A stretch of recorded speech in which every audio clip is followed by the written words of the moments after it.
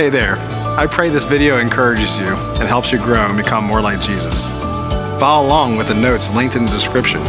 And don't forget to hit the subscribe button. Enjoy. Open up your Bibles to Acts chapter 8. The, the title of today's message is called Philip the Disciple Maker, meaning Philip, the person who goes and reaches the lost and teaches the lost and helps them become believers. That's why I called it Philip the Disciple Maker instead of that really long sentence. A little easier. We're going to be in Acts chapter 8, verse 26. And the word one is a big word today. It's a theme of our message. God cares about the multitudes and he cares about the one. If you can, say one with me. God cares about you and he cares about the one person in your life that needs him and the many others at the same time. How many are grateful that the Lord found you on whatever road you were walking in one day and now you're saved, right? Amen. Thank the Lord.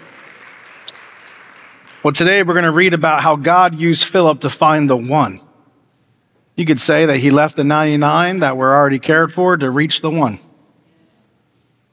And uh, we're going to read about that in Acts chapter 8, verse 26. This is what it says. And if you recall, there was a great uh, awakening taking place in Samaria, and many people were coming to the Lord. And God calls Philip to leave this amazing movement of salvation in Samaria to go find one man. Beautiful. And this is what it says in verse 26, Acts chapter 8, verse 26. As for Philip, an angel of the Lord said to him, Go south down the desert road that runs from Jerusalem to Gaza. So he started out and he met the treasurer of Ethiopia, a eunuch of great authority under the king Kandake, the queen of Ethiopia. The eunuch had gone to Jerusalem to worship, and he was now returning. Seated in his carriage, he was reading aloud from the book of the prophet Isaiah the Holy Spirit said to Philip, Go over and walk along beside the carriage. Wow, there's a lot going on here in just these four verses. First of all, number one, we see that an angel directed Philip to go meet a man. And he says, Go down, uh, go south down the desert road that runs from Jerusalem to Gaza. I want to show you this map because uh, Philip was in Jerusalem at one point and then the persecution happened because of Stephen's stoning. So he, he went north to Samaria. And you can see Samaria and the arrow going from Jerusalem to Samaria. And then God called him to go back down to the desert road. So he came back down through Jerusalem and then he would go down to the desert road where Gaza is. And just so you know, um, at this time, Gaza is to the left, but beforehand, in 93 BC, Gaza was over there by the desert road. So it moved in around 50 something BC. Gaza had moved closer to the Mediterranean Sea. But before that, there was what was called the Gaza Desert Road. And so God uh, strategically has an angel tell Philip, go down this desert road and you're going to meet a man on this road. Okay. So he's heading down towards that Gaza uh, location on the bottom left, but he's taking that desert road to get there. And he met the treasurer of Ethiopia, a eunuch of great authority under the Kandake, the queen of Ethiopia. what's a eunuch? Um, the easiest way for me to explain this is a person incapable of procreating in the Bible times, maybe by choice, maybe by force, um, maybe by birth. And uh, if it was by force, is because the king did not want servants in, the, in his palace to be able to procreate or do anything wrong um, with his concubines or his wife. And so to help limit that, he removed that ability. Sometimes they were just by choice, and sometimes it was just by birth, incapable of procreating. And we see here that he is the treasurer of Ethiopia, which is today modern day Sudan. Back then it was Ethiopia, today it's Sudan, so Northeast Africa. And he must be pretty wealthy because he is in a chariot or carriage of sort. And in this carriage, he's reading a scroll of the book of Isaiah, or at least a portion of it, the prophet Isaiah, a part of our Bible. And that is extremely rare. So he is very wealthy. He's a very important figure in the kingdom there in Ethiopia. He's the treasurer of the queen there. And so he had traveled to Jerusalem to worship God because he was, it looks like, appears to be a Jew uh, from a Gentile nation who converted to Judaism. And he was going there to worship. And just to, just to help you see how passionate he is about his beliefs, he traveled all the way down there, all the way up north to go worship for a week or so and then go back. So he believed in God, the God of the Jews, but he did not yet believe in Jesus Christ. We know the difference now, right? That the Jews believed in God, but they did not believe in Jesus as the Messiah. So there was work that needed to be completed. And so God sends Philip, and God says, Philip, walk alongside the carriage. Just, just walk alongside the carriage. And when he did, he heard him reading the prophet Isaiah which is cool that Philip recognized scripture so well that he could tell he was reading Isaiah, that he was just reading a portion of it and he could hear him saying it. It's just a testimony to us that we should know our word as best as we can. Amen. Okay, so let's go into verse 30. Philip ran over. So the Holy Spirit said to Philip, Go over and walk along beside the carriage. So first we have an angel, now we have the Holy Spirit. Go over, and Philip ran over. Did that wake you up a little bit because you lost an hour of sleep? Yeah. I couldn't even sleep last night in the beginning. I, I knew they were going to have to get up earlier. So I kept thinking, oh, so it's really like 10 o'clock right now. I should go to bed now so I can get up. And then I couldn't sleep.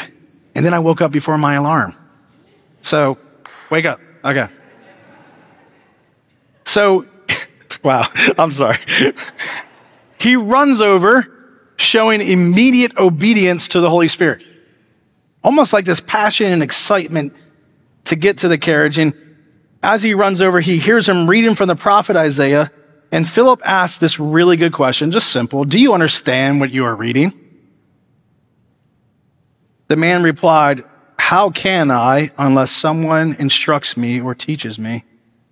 And he urged Philip to come up into the carriage and sit with him. What a great invitation. And the passage of scripture he had been reading was this He was led like a sheep to the slaughter, and as a lamb is silent before the shearers, he did not open his mouth. He was humiliated and received no justice. Who can speak of his descendants? For his life was taken from earth. Who is he talking about there? Oh my goodness, you passed the test. You know the Bible. Praise the Lord. If you were to hear someone, and if, and if you're learning this still, Welcome to church. Welcome to learning with us. How many Christians here have arrived and you're perfect? Yeah, don't raise your hand. you're in good company. Okay, we're all learning the word of God. We're all learning these things. And even this, this man who has a scroll of some sort or, or a portion of this scripture did not know exactly. Now, here's the thing the Jews would have argued a little bit too of who this was. Was this referring to someone else? Was this referring to Isaiah himself? Or was it referring to Jesus? Now, the Christians would obviously point to Jesus because this is prophesied. This scripture we just read is from Isaiah 53, and it was prophesied by Isaiah 700 years before Jesus. And so, this is another prophetic word coming into uh, reality or being fulfilled at the birth and the death and the resurrection of Jesus Christ. But this scripture in particular is what's called the suffering servant scripture. It's where Jesus suffered for mankind's sins instead of mankind. He took the place for us. That's the good news, isn't it? So God is handing over this Ethiopian eunuch on a silver platter to Philip. But let it be known that Philip did obey and show up when he needed to show up. Amen and that God is going to serve someone to you or bring someone into your life. And will you have the spiritual awareness and faith and obedience to respond and be the disciple maker in that person's life? I'm praying that God quickens your heart and your spirit to be ready to help. And the eunuch asked this question in verse 34 Tell me, was the prophet talking about himself or someone else? What a great question for Philip. So, beginning with this same scripture, Philip told him the good news about Jesus. Now, I can picture right now Philip knowing the scripture uh, and also being saved himself, being preached to and taught by the apostles who were with Jesus. He is going to go from the Old Testament saying, Well, this is the suffering servant who you may know about. Maybe you heard, my friend from Ethiopia, that a man was crucified in Jerusalem not long ago. But after he died three days, uh, for three days he was dead, or three nights, or whatever, however you want to look at that or interpret that. You know, there's arguments on that, right? Because we believe he died on Friday and then he rose again on Sunday. So I've been hearing that being a, a controversial subject. There are many different views on that. But just so you know, the Jews believe that at least, at least if there was 12 hours of that day, you can consider it three days. Okay? And that's the view I hold as well. So, in other words, Philip, and I'm going off on a tangent there, but I just want you to know we get caught in the weeds on that a little too much. Did Jesus die and did he rise again? Yes. That's the main thing. But I do believe it was on the third day that Jesus rose again and he showed up to the apostles and he showed up to Mary and first to Mary and the women that came to the tomb, then the apostles, and then to 500 believers. So I can see that Philip is processing this and maybe even tells his testimony next. So he shares the gospel, the good news that Jesus came to save us from sin and the, the wages of sin or the penalty of sin is what? Death. I don't know about you, but I want to be saved from sin and I want to be saved from death. I want to have eternal life. Amen. And so this is really good news. And everyone has sinned and fallen short of God's glorious standard. For the wages of sin is death, but the gift of God is eternal life. I can see Philip breaking this down to this man on this carriage, and he believes. And at some point, he must have mentioned water baptism. Because here's what comes next verse uh, 40, I'm sorry, verse 36 as they rode along, they came to some water, and the eunuch said, Look, there's some water. Why can't I be baptized? He ordered the carriage to stop, and they went down into the water, and Philip baptized him. Now, what is water baptism? Water baptism is a physical demonstration of an inward transformation. So when you believe in Jesus Christ, you are washed clean from your old life and all your sin, and you're identified as a new child of God and now a new creation. And what happened was Jesus died, he went down into death, and then he came back out and conquered death, conquered sin and death for us, and now he's alive. Same thing when we are water baptized, we go down into the water as if death has happened of our old life, and now we're a new creation, washed clean by the blood of the Lamb, made new, and we come out and now we live a new life in Christ. It's called the shared life of Christ. We share in these things with him. And did you know you also share in his inheritance of everlasting life? So not only do you share in, you know, walking the way he walked and going through what he did. By the way, we don't, it's, it's a beautiful thing if you think about it because he died on the cross so we wouldn't have to. We just, phys- we just physically demonstrate that through water. We don't actually have to die because we have everlasting life. Now, if we were to die before Jesus comes back, the promise is that he raises us to a new life with a new body, especially when he returns back to gather his church. So that's still the promise because Jesus said to Mary and others in John 11, I am the resurrection and the life. He who believes in me, even if he dies, will live again. Okay?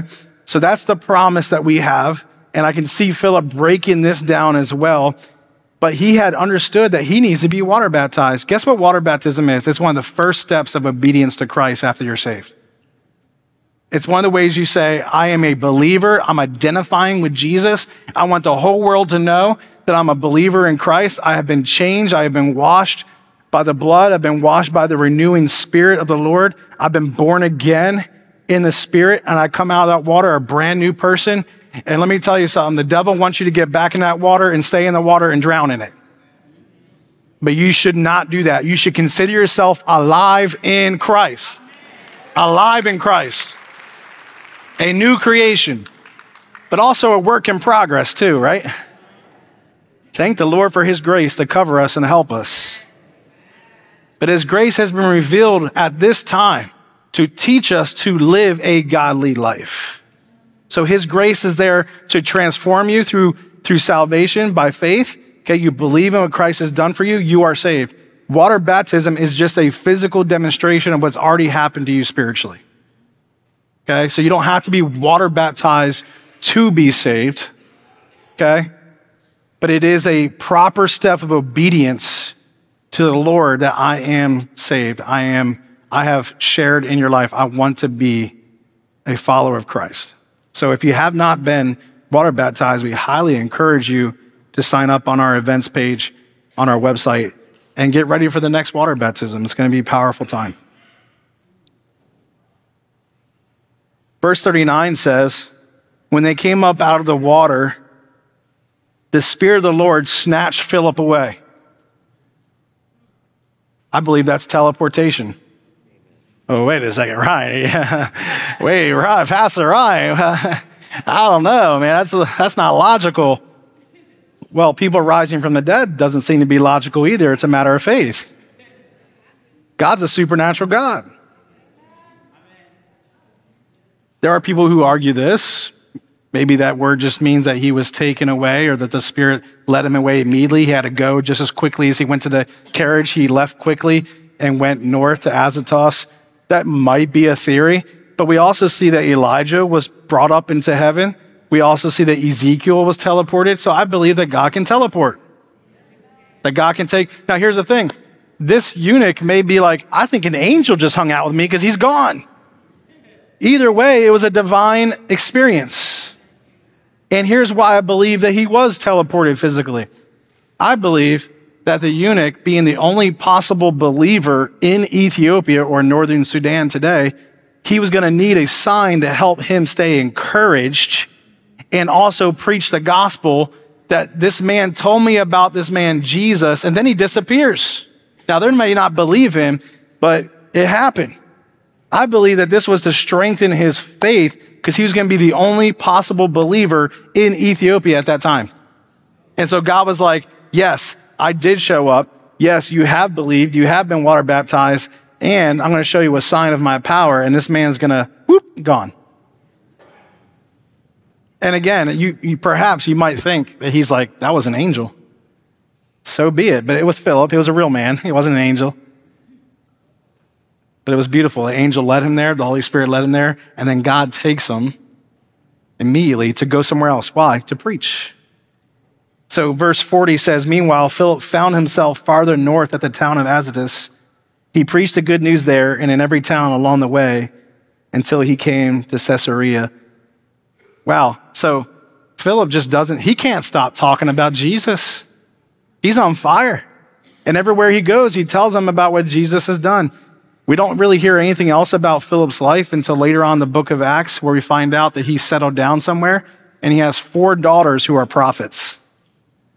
So he raised a godly family and now they're serving the Lord. Pretty cool. I want to apply this to our lives today and encourage you with this application. I want to teach you some disciple making 101. Philip was a disciple maker. I want to do some disciple making one on one. You sound, does that sound good? I want to equip you and help you make disciples today. Just a brief crash course to help you live like Philip in this moment.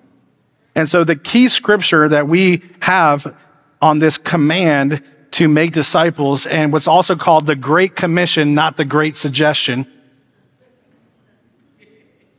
It's a command to practice.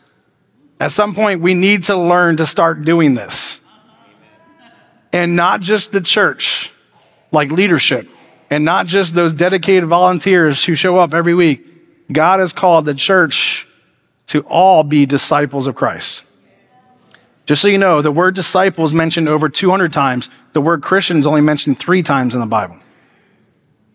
He's called us to be a disciple, a follower. It's also, uh, the word disciple means student or learner, and implied student or learner of Jesus. Okay? How many want to be a learner of Jesus and be a student of Jesus and live like Jesus? I know I do. All right. So, number one, or the scripture we have for this, our foundation for this is Matthew 28, 18 through 20. I will say this again and again because it needs to get into our hearts and change the way we live. Jesus came and told his disciples, I have been given all authority in heaven and on earth. Therefore, go and make disciples of all the nations. So go make converts, or not really not even converts, because converts may not do anything after they get saved. Go make disciples. I think that was strategic. But for the sake of un- helping you understand what disciple means, it's a believer, a follower, a learner of Jesus of all nations, all people, baptizing them in the name of the Father and the Son and the Holy Spirit. So, water baptism. Teach these new disciples to obey all the commands I have given you, and be sure of this I am with you always, even to the end of the age. Clear as day, isn't it? And here's the thing like, this still exists today because someone gets saved. And so, if you help someone come to Christ, it says that you should help them get baptized, whether the pastor does that or even if you need to get in the tank with that person or you do it before we have our own. We would like to know that, though, by the way, if you do. All right? And there's some instructions on how to do that. But teaching them to obey. So if, if you do that, if you lead someone to Christ and you teach them to obey the Great Commission, which we just read, teaching them to obey everything He has commanded, that means they're going to have to go out and reach someone. And then that person that they reach is going to go reach someone. So that continues today. So, what happened? Why doesn't the church teach this more? What happened? What we did is we outsourced evangelism and discipleship to the big C, or not, well, not Christ, but the church, I should say, the little c. We, we outsource it to the pastor and the people who have the gifting of evangelism, to the people who have the gift of teaching. We outsource it to them, and everyone else gets to just kind of chill. That's wrong. That's not biblical. It's not. It's not right. Because it, it, it basically says you don't have responsibility to teach anyone about Jesus and what he said to do. And it's all on Pastor Ryan or whoever's the evangelist, whoever's the teacher. It's all on our big outreaches. I call them the big nets. But guess what? God's called you to carry a fishing pole. We need big nets and we need fishing poles. Like a big net doesn't necessarily mean concentrated care on an individual. In fact, we're also busy doing the big events and, and, and caring for the stuff to be manned by a volunteer that no one's connecting with anyone. Meanwhile, if we all go out and we don't wait for a Calvary event like Easter at Calvary, and we're doing it tomorrow, we're going to accomplish even more than what one event can do. He has called all of us to go and tell people about what Jesus has done and what he's done in our lives, and then teach them even before they believe. Yes, this is why I'm a disciple maker teacher, not an evangelist teacher or discipleship teacher. I'm a disciple maker teacher because Jesus taught disciple making. And Jesus saw this. He saw a church that would, one person would reach and teach at the same time. Let me explain. Philip taught the eunuch what he was reading, and then he believed. So he actually discipled and evangelized at the same time.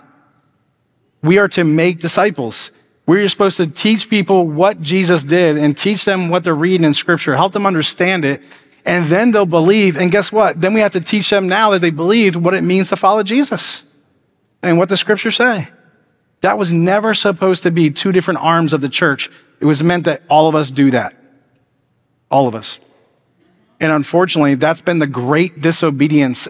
And I would even be as far to say the great sin of the, of the modern day church is that we haven't taken responsibility for the great commission that Jesus called us to do. And it's not healthy, it's not good. Why are churches declining in America? Why? There's so many churches around this nation. Now, I get it. The world is declining in, in morals and all those things, right? There's many options and all that. We have lost many people from the church in America. Okay. It is in a decline. But you know what? Instead of looking at the negative, I'm actually excited because that means there's more people to reach then. That's the silver lining. It's sad reality news right there that people have left the church and then there's more lost people out there, but that just means the opportunity is bigger. And it's an opportunity for the church to repent and start doing what we're supposed to do. Yeah. Praise the Lord. I still recall Martin Luther was talking about how his, his monk friend that was praying all the time saw him laboring in the fields. And I might have this backwards. It might be Martin Luther and he was seeing someone else. But the story goes like this that Martin Luther or someone else was laboring in the fields, trying to bring people to the Lord. But his friend, who was more of a, a monastic, who would sit around and pray a lot and pray for God to move and do things, was praying. And in his prayer, he saw a vision of his friend Martin Luther tired in the fields by himself.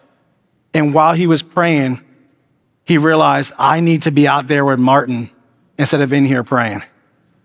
Because we, do we need to pray? Oh, oh my goodness. Yes. Actually, the Bible says this ask the Lord of the harvest for the workers. So the first thing he says to do is pray.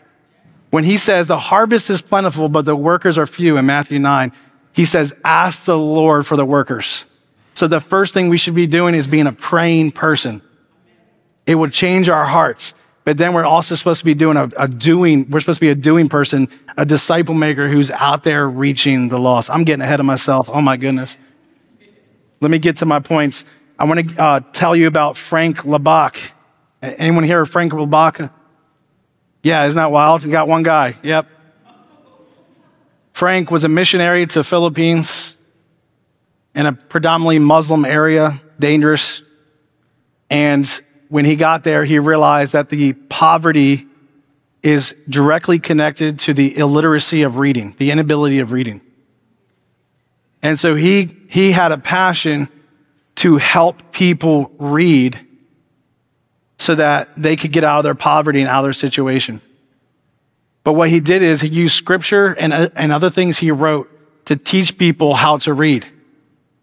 Well, one by one, people started getting saved. And he said, I just want you to teach someone else now. So each one of you teach one. Each one teach one. By the time he was done with his life of work, over 100 million people learned how to read. And he just happened to use the Bible and all of his little tracts and documents he wrote. And this is his headstone. He is known for each one, teach one. Could you imagine if each one of us in this room just taught one person about Jesus? Just your one. I'm praying that God will lead you to one person, unbeliever slash seeker, or a new believer that does not know Jesus enough and needs to grow and needs to learn. And you might be saying, That's me, Ryan. Okay, you're in a great place. You're learning today. Amen. But what if each one of us, what if a thousand people in this church helped teach one person and it was successful? And whether they come here or not, it's not the point. I want people to meet Jesus. Okay? Yeah. That's God's heart. Look, Philip didn't try to get the eunuch to leave his home and come back to be with him. He, he didn't try to recruit him to his church. Now, if someone doesn't have a church, invite them to church. But the point is, is he left and he was saved. And he, here's the history. Here's what we believe, according to early church fathers and historical data, that the gospel moved in Ethiopia most likely through this eunuch, even in the leadership of that country. Because God was still fulfilling his scripture in Acts 1 8. But you will receive power when the Holy Spirit comes upon you, and you will be my witnesses in Jerusalem, Judea, Samaria, and to the ends of the earth. And that would have been considered possibly more to the ends of the earth at that time. It was spreading out. Was Rome and all that was further up as well. So God was fulfilling his word that it wasn't just for the Jews, but the Gentiles. Anyone who's not a Jew could be saved. And people were getting saved. What if each one of us taught someone? And here's the thing you may not know this, but that one that you reach will end up teaching one if you model this for them.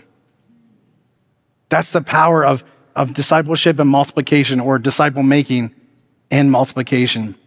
And so I'm assuming that you call yourself a disciple of Jesus today and that you want to be a disciple maker. So I'm going to give you four quick tips to help you be a disciple maker. Number one, and these are disciple maker principles to live by, okay? Number one, a disciple maker must be a disciple and follower, uh, follower of Jesus. Wow, Ryan, that, thanks. Thanks, buddy. That was, uh, I, really needed to hear that.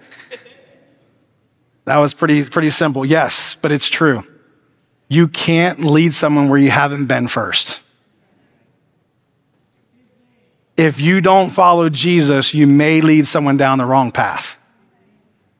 We're not trying to make disciples of us, we're trying to make disciples of Christ. A disciple maker must be a disciple and follower of Jesus. Matthew 4:19, Jesus said, "Come follow me."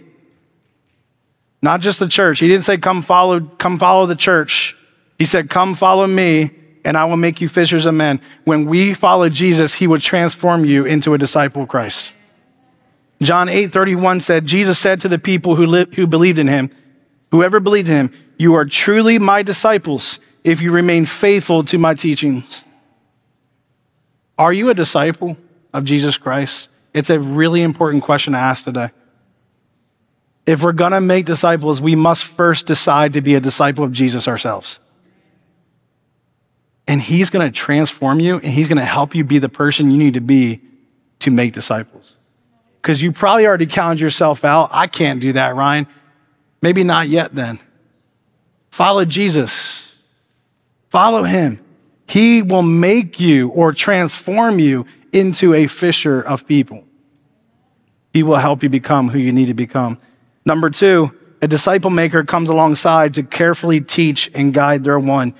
This one could be an unbeliever or a believer, and you are called to open your life, not just the scriptures, with this person. You ready for this? It's the word available. A disciple maker is available. Their life is open to the person that they're ministering to. In Mark 3 13 through 14, Jesus said, Come and be with me. He called them to be with him. When you disciple make someone, you call them to be with you, to hang out with you, to do life with you, not just open the Bible, but open your life. And I know that's scary. I know that can be awkward. I know all that. But the Lord will lead you to someone and, it, and he'll help you do that. He will help you have the, the grace and the strength and the love to spend time with that person. It may be someone at work, it may be someone in your neighborhood, it may be someone you know from the community, but he will open those doors. It might be a family member. 1 Thessalonians 2 8, Paul said this. He said this to the church We loved you so much that we share with you not only God's good news, but our own lives too. See, Paul opened up his life, not just the Bible. 1 Timothy 4:16, as you're doing this, we need to be careful, right? What we teach and how we guide. Well, Paul told Timothy, watch your life and doctrine closely. Persevere in them, because if you do, you will save both yourself and your hearers. Be careful what you say and what you teach. You know what the safest bet is? The Bible. And let the Bible speak the Bible. Let it speak for itself. Thirdly, a disciple maker strives to be an example of Christ to everyone we should be an example of what it means to be a godly person around those we're leading. Can I get an amen for that? Yeah. So here's the thing though, it doesn't mean we're going to execute that perfectly. In fact, and I'm not saying you, you use your imperfections as your starting point with people all the time, but if you act like you always have it together, then you're not approachable either. Okay? We need to be real. We need to be authentic. We don't want to be fake. Okay? We don't want to act like we always do it right. We don't. We also shouldn't always do it wrong either. hey, I have another lesson from my wrong mistake again. You know, we need to have our victories. Amen. we need to have our victories. Okay. 1 Corinthians 11, 1, Paul said, Follow my example as I follow the example of Christ. And 1 John 2, 6 says, Those who say they live in God should live their lives as Jesus did. if you're going to be a disciple maker, make sure your life is consistent with your testimony, with your teaching, with your disciple making. Make sure your life is consistent with who you say you represent. Amen.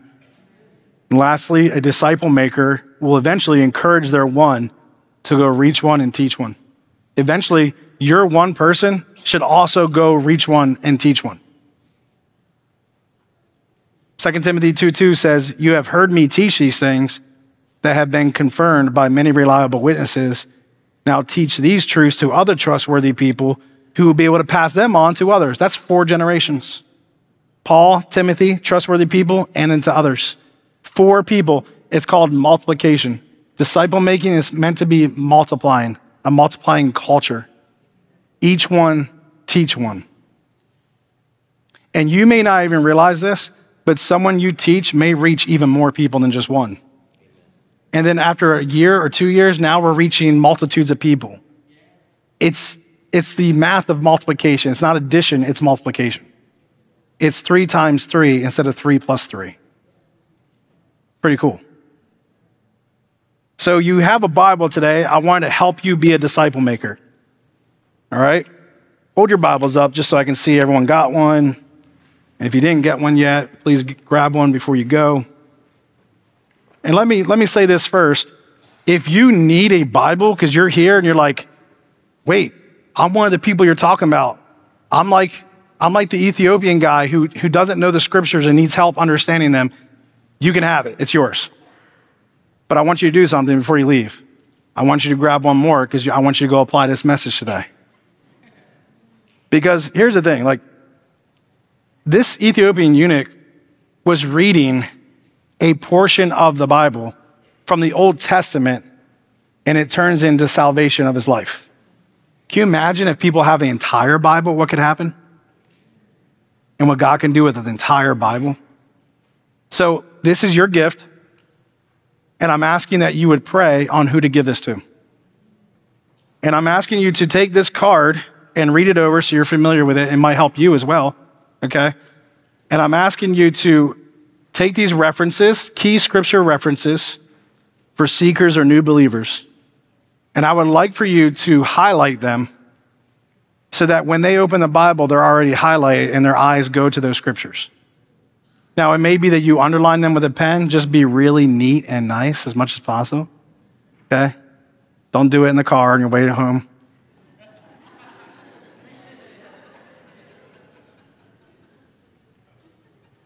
But now, listen, I could have put this, this would be covered with verses. I just chose these by, as the Lord led me. But if God gives you scriptures to highlight, do that. I forgot to say this in the first service, so I'm in trouble, but in this service, I want to say this. Um, if you want to write a note to this person, now here, here's what I recommend I recommend someone that you know or see on a regular basis so that you can have this interaction with them and go, hey, how you doing? You know, have you opened up the Bible? How's it going? Do you have any questions? Or they'll come to you. But just like this, this Ethiopian man, we may never see that person again. So if the Lord, if the Lord tells you to give it to a stranger that you may never see again, do it. Okay? And inside is a postcard to our church, and there's a there's an email on here if anyone needs to get a hold of us. We put in here digital Bibles are also available, so we highly recommend these two Bible apps. We gave pretty much a help for someone who's intimidated by this Bible to know how to read it, okay? This is an easy translation to read as well. And I'm just asking that you would pray over who to give this to, but you would also make yourself available and ready to communicate with that person. Amen? And I'm to ask you to do something kind of risky if you're comfortable with it. Okay? If especially if you know the person. Maybe consider putting your email in there or some kind of contact info of some sort. Not your home address, okay? But just consider that. I'm going to say one more thing too, because I, I, should have said this earlier. I'll say it again. Yeah, don't don't use this as some kind of pickup tool, you know, because you got you had your eyes on you had your eyes on some lady and ladies, you saw that dude at work. You're like, hey, here's my number, you know. I just had to say it, okay? Just had to say it. I know there's some desperate times right now, sometimes desperate measures. Okay? Like, oh, oh man. Oh goodness. Woo. But can you imagine? Like, okay, wow, that's funny. There's other ways, okay? There's other ways instead of using Jesus in that moment, all right? So what I recommend is, is ladies, find a lady. Gentlemen, find, find a gentleman, right? Okay? That's safe. That's safe. All right. Uh, that's a big smile right there. I guess, uh, you know, because I just, that's funny. I want to laugh really hard right now. The Lord, Lord leads you. And would you be a disciple maker today? Would you begin to be and view yourself as a disciple that will be available to help someone understand? Now, you know what this means. Go back to step one. I need to be a disciple of Jesus Christ myself. That means a learner. I highly recommend you're reading your Bible. And I highly recommend that you're praying. Praying for these opportunities, praying for the people for God to give you the words to say and the wisdom and the knowledge to understand and to help. And let me just give you another tip as a disciple maker. When you don't know, you don't know, and you just tell them that. That's a really good question. Let me get back to you on that. Okay? And do some research. Or if you need help, I can try to help. Or one of our pastors or other trusted disciple makers in your life could help you. Okay? So let's stand together and we're just going to pray over these because just so you know, you know, God gave me this idea in 2019 and then COVID hit. And we went, we all got away from each other and we're in each other's homes, you know, hiding in our homes or something like that, or, you know, trying to stay safe. And church was online. And God, I don't know why, but a month ago when I was preparing for this sermon, God said, do that. So we went out and bought a thousand Bibles. Thank you for your giving because it costs over $3,000 for these Bibles. and guess what? We're going to do it again if we have to. Keep us stocked up. Yep. So if you if you've been given to Calvary, you just helped us do an outreach together as a whole church. And just just think about this dream. A thousand people will have Bibles in our community, hopefully in the next week or so. That's awesome. So let's pray that the Holy Spirit makes these words jump right off into their hearts because the Bible is alive. The Bible is alive. And be ready to be like Philip because people are going to have questions. All right? But I believe God can use you. So let's just begin to pray. God, we thank you, Lord. Thank you for finding us on the road we were walking on. And today, God, if there's someone that is sensing your love and seeing their need and conviction for salvation today, I pray, God, you would save them right now, whether they're watching online or whether they're in this room, that God, they would put their faith in you, that they would repent of their sin, they would, they would acknowledge that they're a sinner that needs to turn away from sin, and that they would believe in Jesus Christ as the only answer for sin and as the only way to eternal life. I pray, God, they would say just a simple prayer to you, acknowledging that today. And Lord, that they'd be ready to follow you, which won't be easy. It would be difficult. But God, you will be with us to help us. And we as a church will be alongside them. And I pray, God, that, that you would change them from this day forward. And Lord, I pray for those who are going to receive these Bibles. Lord, put people's um, faces on our, on our hearts right now, on our minds. People that we've been caring for and, and haven't known how to start a conversation. Well, now we have a starter. We're going to give them a gift, and it's the Bible. We're going to give them this card, an invitation to our Easter weekend, and we're going to give them this card to help them understand the Bible. God, pray that, Lord, you would lead us and guide us, whether it's a stranger or someone we see all the time. God, I pray that we would be a disciple maker who follows you, who will carefully come alongside, who will be an example, and who will teach. Help us to be available, Lord, too. God, use this outreach, something we've never done before, Lord. Use it, Lord, to reach so many people as many as you want, Lord God. And Lord, may also challenge us to see ourselves as that we need to be ready and that we are called to be disciples who make disciples. So empower us with your Holy Spirit, lead and guide us by your Spirit. We thank you, God, for the salvation of those who will have this Bible. Lord, we pray for the salvation. We pray for a greater understanding. We pray for open hearts, receptive hearts, God. I pray, Lord, that even if, if someone doesn't receive it well, Lord, that they will take it home and, Lord, you will melt their heart of stone or their cold heart, Lord, and they would open themselves to you, Lord. Go before us, God, and lead us. We thank you, God, again, for what you've done in our lives. We give you all the glory and praise. In Jesus' name, amen. If you need prayer today, our prayer team will be here. Maybe you need encouragement. Maybe you need prayer for things in your life. We're ready to pray with you. God bless you. Have a great, great day.